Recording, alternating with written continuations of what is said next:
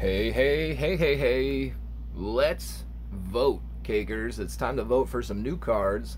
Let's make sure we're setting up a nice deck and voting for cards that will synergize well and cards that will help us out if we get into a bind. Let's take a quick look up and down the list here. Ooh, look at this cool stuff. We got some headhunter action.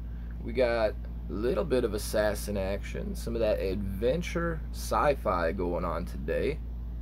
So let me see here. That Jimmy doesn't really help us out on too many units. Let's start off by bringing our towel. Um, of course, we're going to go with the Mecha Timmy here.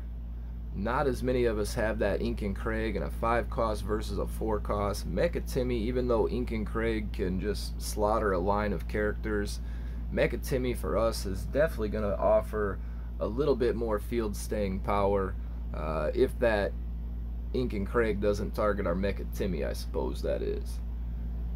We'll be alright there, I think, Cakers. Let's go also with the Medicine Woman Sharon here. The 3-drop Imp Tweek definitely would do well with some of the units on the field, speeding them up if you want to pair them with that Starvin Marvin, maybe some of your weenies, uh, maybe that Mimsy down on the bottom. Warboy Tweek would definitely help out there, but Sharon heals are going to do us well also. Now, Arrowstorm can target us there, and of course, Poison can target there if you're trying to cluster and get that Sharon heals working. But um, again, those are bridges we'll cross as we get to them, Cakers. Uh, looks like Nathan for our team over the Starvin Marvin. We already got one headhunter we're choosing on the bottom there. Let's go ahead and use a range unit to help that headhunter out along the way. Um, now we've got some circle charges in here. I see that and a Hankey would be nice there for some of these circle charges, but um, we have uh, units right down there on the bottom that are gonna need some rats at their heels while they try to headhunt and clip away at your new kid. So I'm going to use those rats for the Mimsy or for the Big Gay Al. Uh, now here I can see we have a choice of Kyle or Wendy, and then just below we have a choice of Kyle or Bebe.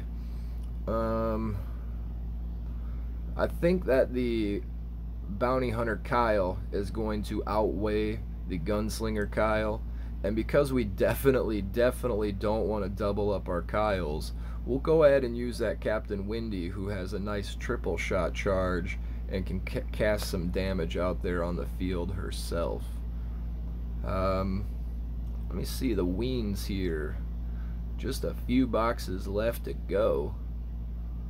Um, I like Sally for the cost, but I suppose we'll go with Deckhand Butters for the heal. Uh, but I do like Sally for the cost. We're definitely staying away from mind control this week. We are using that Arrow Storm. Um, no, Smuggler Ike isn't going to have time to set up. We don't really have a tank to protect him. And we have units that can get on top of him and stop him fast. We have Arrow Storm. Uh, nope, I'm going to take that energy advantage trade here when my opponent uses Arrowstorm on the Ween. We definitely need Smuggler Ike here. Um, Gizmo Ike is not going to run effective with the units that he has in front of him for protection here. We're not going to be able to set up enough Gizmo Ike to make him work. Uh, I'm also a fan of the Mimsy here rather than the Big Gay Al. And do I need Lightning Bolt to take down one particular card? I don't believe so. Mecha Timmy could be that card. But I believe we are going to go with the high functioning poison here to see if we can get some more damage on those units rather than damage on one unit. Arrow Storm combined with poison might save our life this week. So Cakers, that's the deck setup. Um, again, we go with the Towel over Enforcer Jimmy, Mecha Timmy. We're choosing the heels with Sharon, the Nathan throwing the bombs. We like the rats. The uh, Captain Wendy there is going to serve us well, especially not doubling up the two Kyles. Um, I would prefer to go with Sally for the energy, to be honest, but uh, the team definitely likes the heal factor, so we'll stay with the heals. Uh, we're going with Bounty Hunter Kyle, obviously, pew pew pew that uh, Robo Bebe can get sped up, but I don't believe she's going to have enough units in front of her unless people are silly and send out something like a Gizmo Ike times three, you know, something like that. But uh, Pew Pew over the Bebe for sure. We're going Arrowstorm, and we like the Smuggler Ike not only for energy, efficiency, but uh, again, Gizmo Ike doesn't have a setup this week. He won't have a lot of cards he can position himself behind unless you full field Mimsy. You know, stick Mimsy behind your new kid, start running Ikes behind that Mimsy. That's about the only thing I could see here, but that poison comes right out, that Arrowstorm comes right out, and uh, they put a stop to all that havoc. So we're going Mimsy over Big Gay Al.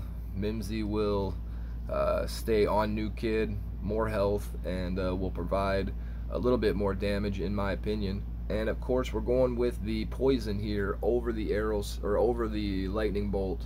Uh, lightning bolt doesn't seem to have an effective target this week. Um, Nathan, Mecha Timmy might be some of the folks you'd consider, maybe even a Sharon, I suppose.